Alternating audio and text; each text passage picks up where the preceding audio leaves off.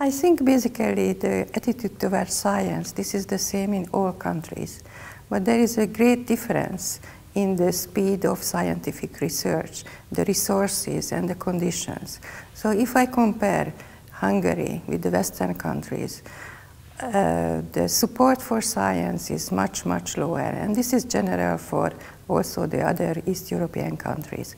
So nowadays the modern biology needs uh, really high performance, uh, rather uh, expensive equipments and platforms, technical platforms. And I cannot say that this does not exist in Hungary. There are these kind of uh, platforms.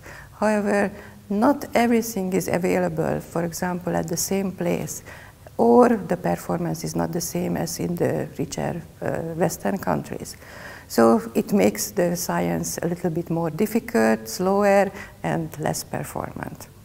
And therefore, these countries have a big problem with the young generation because it can lead to the uh, brain drain of the young people. They can go to the Western European or American laboratories where they can work faster and more effectively than in these countries.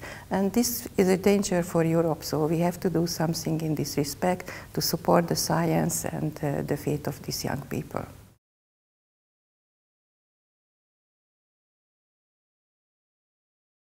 So the program with L'Oreal and UNESCO started about 20 years ago when the first discussion came and uh, everybody realized that there is a problem. There are very few uh, women scientists uh, who have uh, a higher position after the postdoc period and even the postdoc period was already a questionable uh, time for the women scientists.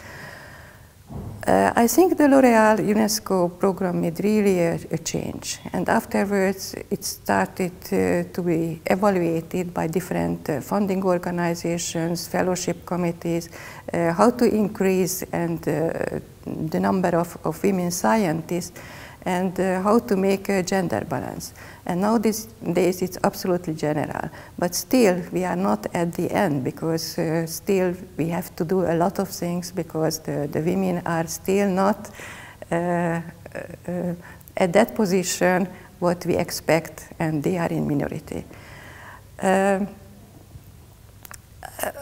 I think uh, even personally I could see that some very, very talented uh, young uh, uh, women scientists had to decide what to take to be a mother and staying at home or to make a career.